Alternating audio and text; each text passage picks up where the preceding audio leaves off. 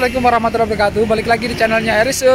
Asik. Apa kabar teman-teman? Kali ini Eri masih uh, berada di Solo. Ini hari terakhir Harry di Solo dan nanti sore harus balik lagi. Sebelum Harry balik, Harry mau melihat dan mau test drive. Ini ada mobilnya anaknya tante Nini mau dijual. Suruh beli. Jadi sebelum saya pulang sekaligus saya mau cek-cek dulu barangnya, saya mau test drive. Siapa tahu Harry punya rezeki lebih ya, bisa dibeli. Dan ini ada mobil sport dua pintu. Ya Bismillah lah siapa tahu ini mobil pertama Harry mobil sport pertama. Amin. Oke yang pertama boleh mobil SGC tapi yang kedua siapa tahu ada rezeki Harry punya mobil sport ya siapa tahu. Ini saya nunggu uh, anaknya tante ini jam 11 sudah jam 11 kurang 5 menit. Kita tunggu aja. Nanti kita lihat test drive nya seperti apa harganya berapa siapa tahu boleh dibelok-belokin boleh dinego ya kan? Oke kita tunggu sambil kita muter-muter di sini. Kita ada di The Park Mall set di tamannya anaknya lewat oke kita tunggu ya teman-teman. Dadah. Oke Re ini udah ketemu yang punya mobil. Ini namanya Alan. Dia anaknya tante ini yang kemarin. Dia suruh beli mobilnya apa mobilnya mau dijual suruh beli Harry. Cuman kita lihat-lihat dulu ya siapa tahu cocok ya kalian ya? Sip. Ini nanti apa? Pusho tipe? RCZ namanya Pusho RCZ kira-kira boleh nego nggak? Ya boleh namanya Oke. jualan mobil boleh. Ini boleh nego ya teman-teman. Siapa cepat dia dapat. Tetapi ini saya mau uh, test drive dulu sama Alan. Mobilnya di mana Alan? Itu di situ. Oh oke oke oke oke. Oke kita lanjut aja ya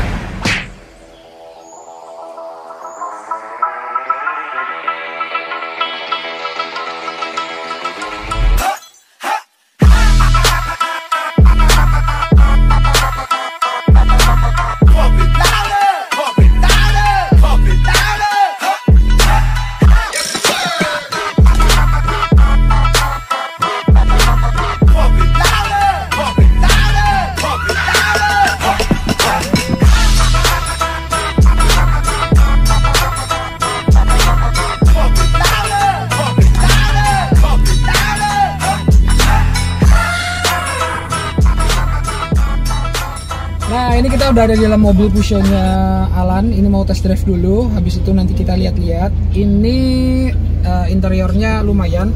Ternyata ini ada 4 seat Cuman yang belakang ini ternyata Untuk ya bisa dibilang untuk anak kecil. Dewasa bisa sih satu kali di tengah gitu ya? Ya oh.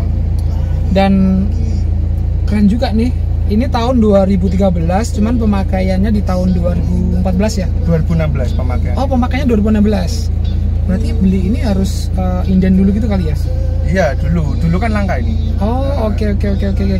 Produksinya 2000 berapa tadi? 2013 2013 baru use-nya 2016. harga barunya sekarang yang tahun tahun baru ini keluar itu 800-an 800. ya Dan ini harganya 50% aja. Wah, gila nih. Ya kan? ya kilometernya belum ada 30.000 ribu ini 29 ribu aja ini Kita lihat dulu nih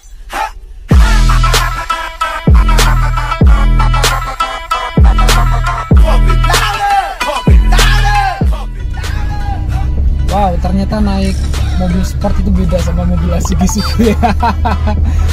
ya, siapa tahu dapat rezeki jalan ya. Ya, Kita bisa beli ini. Nah, buat teman-teman yang mau ngambil ini nggak apa-apa, langsung hubungi eh, kontaknya Heri aja. Nanti kita bisa lihat bareng-bareng di sini. Dipastikan ini harganya sangat terjangkau. Kita bisa nego juga sama Alan. Nah, ini tadi kita sempat ngobrol.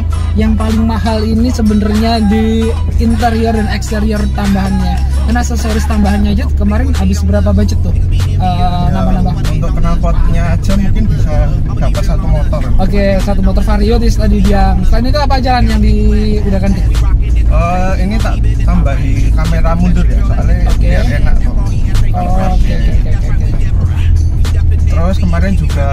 platnya tuh habis balik nama jadi masih panjang banget sampai 2025 Nah, itu dia.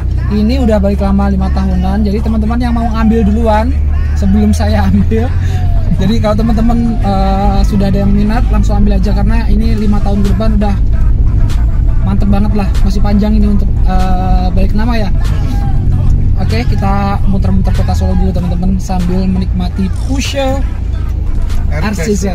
Wah, 1600 turbo dan ini eh, bahan bakarnya berarti pakai pertama pertama tapi nggak perlu yang turbo nggak apa-apa pertama Oke. aja Irit nggak kira-kira?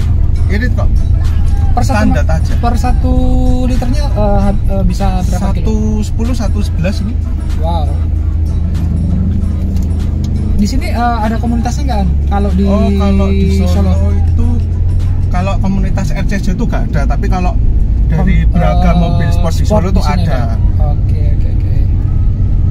ini walaupun cc nya 1600 aja tapi dia ada turbonya jadi itu walaupun cc 1600 tapi kencengnya minta ampun saya sudah Oke. pernah test drive Udah test drive ya ini. Eh, di kecepatan 200 itu dia tenaganya masih banyak banget Oke berarti eh, paling maksimal Alan sudah pernah coba di kilo apa namanya kecepatan berapa? kalau aku beraninya ya Sekitar 200 tadi ya? 200 itu sudah Udah mentok aku- ya, udah takut lah Eh, maksudnya. takut Belum Jalannya maksimal habis aja. sebenarnya Padahal belum maksimal tapi Iya. karena takut ya. Iya. Saya mau coba dulu.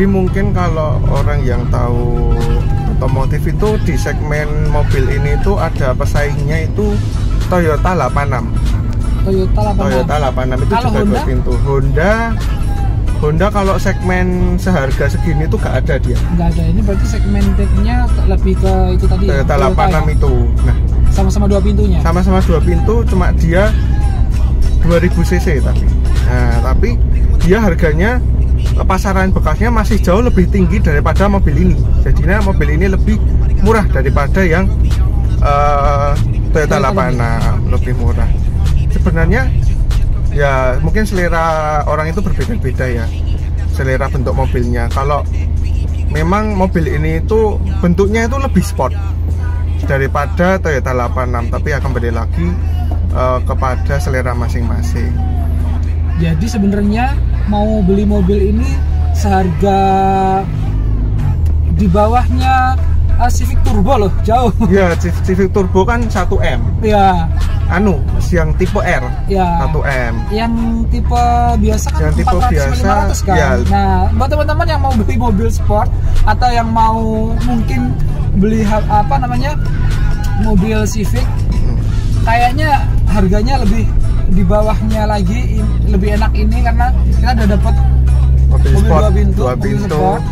Dan cc-nya 1600 turbo. Berarti kalau eh, 1600 bisa dibilang ini eh, apa namanya irit banget ya kan? Jadi kalau boros kok.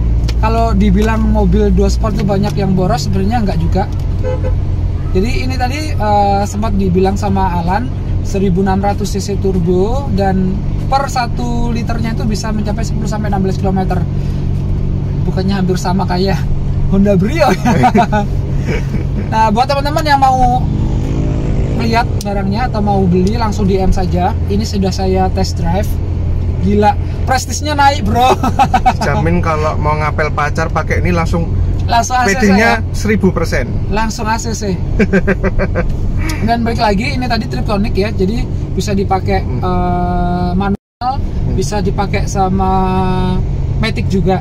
Jadi buat teman-teman yang nggak bisa manual bisa Matic mungkin sebaliknya sudah terbiasa dengan eh, manual nggak bisa Matic bisa juga gitu. Harganya cuma 450 juta nego bolehlah dikit-dikit aja. Dikit aja ya. tetapi melihat harganya dibandingkan apa eh, dibandingkan apa yang ada di sini harganya tuh nggak aduh sorry saya selalu salah di guys bentar bentar bentar bentar, jadi sorry. mobil Eropa itu kebalikannya mobil Jepang ya guys ratingnya di kiri lampunya di kanan Nah ini tadi saya sudah dua kali kal- salah. Saya pikir eh, rating ke kanan ke kiri itu biasanya kan pakai di Kanan. Nah ternyata sebelah kiri. jadi eh, ini juga AC-nya dual zone. Jadi nggak rebutan sama penumpangnya kalau mau beda temperatur.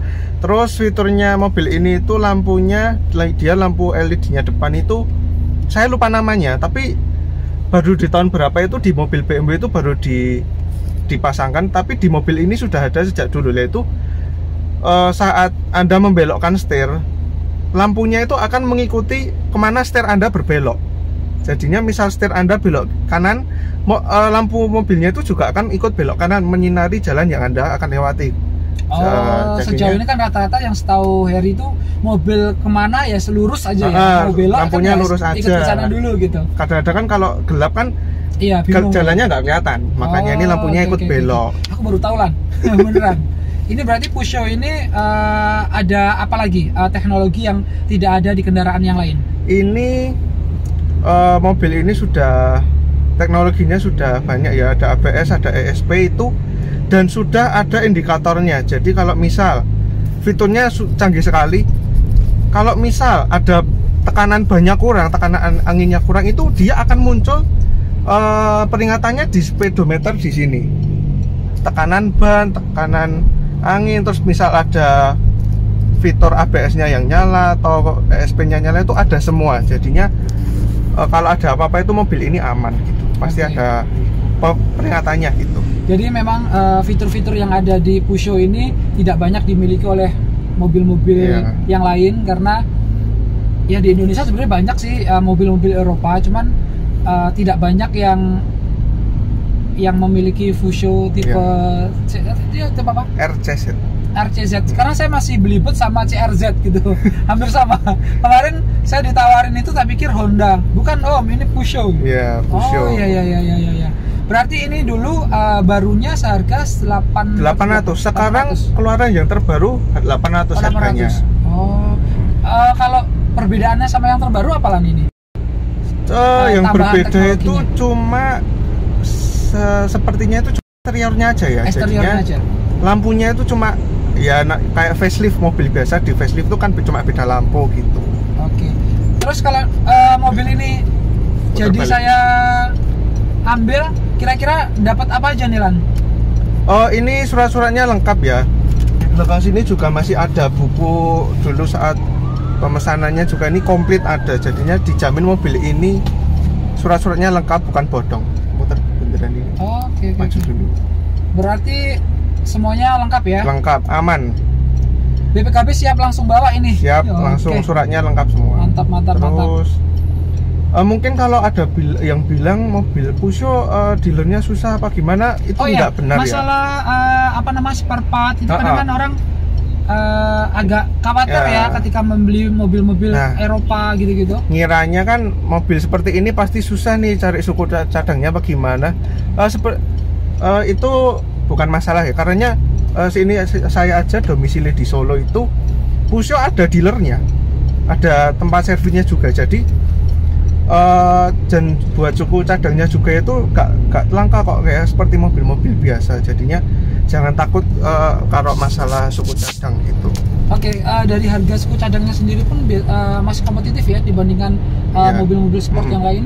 Eh, gak mahal-mahal kok ini suku cadangnya itu masih ya kayak mobil-mobil biasa aja Eh, sudah ini jujur aja ya Lan ya. Mm-mm. Sudah pernah ada yang diganti-ganti suku apa namanya eh, spare part apa aja yang mungkin sudah pernah Oh, diganti? karena ini saya juga beli second Oh, beli second ya Ah, kemarin. Oke. jadi kar yang pemilik sebelumnya diganti itu knalpotnya Cuma kenal pot aja. knalpotnya Oke. sama list pilar di atas ini tuh itu awalnya warna putih tapi di stiker karbon biar tambah sporty Oh, oke oke oke oke oke oke. Jadi teman-teman uh, sekali lagi yang mau melihat unit ini, jadi uh, appointment dulu karena saya tidak mau hanya sekedar datang tapi memang uh, jauh dari harapan. Jadi benar-benar uh, kalau mau appointment, mau lihat barang atau mau negosiasi bisa DM aja dulu. Nanti saya kirim fotonya, saya kirim videonya semuanya lengkap. Jadi teman-teman kalau sudah klik baru bisa kita appointment untuk uh, negosiasi, ya kan? Ya. Nah, apalagi nih harapannya Alan uh, ketika mobil ini mau dilepaskan? Kenapa sih mau dilepaskan, Lan? Nah, ya kalau Pak AS yang nyuruh jual kan sebenarnya ayah saya dan uh, ya papa saya tuh sukanya nyoba-nyoba mobil. Oh, berarti Uh, ini masih coba-coba ya? Iya. Ini berapa uh, tahun pakai di tangan Alan? Eh kayaknya setahun ya. Saya belinya ini kayaknya 2019 November. Nah, Oke. baru setahun. Papa saya dia sukanya nyoba mobil-mobil gitu kan, ngerasain ini, ngerasain itu. Nah, mungkin karena dia sudah eh, sudah pernah ngerasain terus dia ingin mau nyoba mobil yang lain lagi makanya dijual. Mau diganti apa? Tesla. Eh, enggak, karena kita sudah nyoba sedan, papa saya ingin nyoba yang agak tinggi dikit Range Rover. Nah, Oke. kalau mau ada yang tukar tambah sama Range Rover boleh banget ya. Oh, boleh, boleh. Boleh banget. Nah, ini teman-teman, bagi teman-teman yang punya unit Range Rover mau tuker tambah sama Pusho-nya ini, boleh banget. Jadi nanti bisa confirm aja barangkali sudah ada Range Rover atau temennya punya Range Rover mau uh, diganti sama ini bisa direkomendasikan ke kita ya Lan ya. Ya, boleh, boleh banget. Di tahun berapa Lan uh, harapannya Range Rover yang Oh, Range? Rover yang saya dan ayah saya pingin itu yang Range Rover, Range Rover Evoque aja tahun 2011, 12, 13 gitu aja, nggak masalah. Wow, ya ya ya ya ya. ya. Nah, terus nanti ya itu dengan harga segitu Anda akan mempunyai prestis yang sangat tinggi karena mobil ini pasti akan menjadi eh, bahan perhatian, eye catching di mata orang. Jadi kalau Anda pakai mobil ini pasti akan dilihat, pasti prestis Anda akan naik. Gitu. Jadinya tidak sih eh, Anda membayar dengan harga segitu itu sangat worth it sekali apa yang dengan yang didapat. Tuh. Sudah Om? Oke, terima kasih teman-teman. Ini sudah sampai lagi ke tempatnya. Terima kasih Alan sudah Ya. diajak muter-muter dan ini sudah coba apa namanya uh, Mobilnya, test drive. ya. Jadi buat teman-teman yang mau uh, ganti unit, Ya. kita ada Pusho ini bisa dipakai dan nanti yang mau lihat-lihat bisa DM juga. Jadi oke itu aja. Sampai ketemu di video selanjutnya. Wassalamualaikum warahmatullahi wabarakatuh. Dadah. Bye.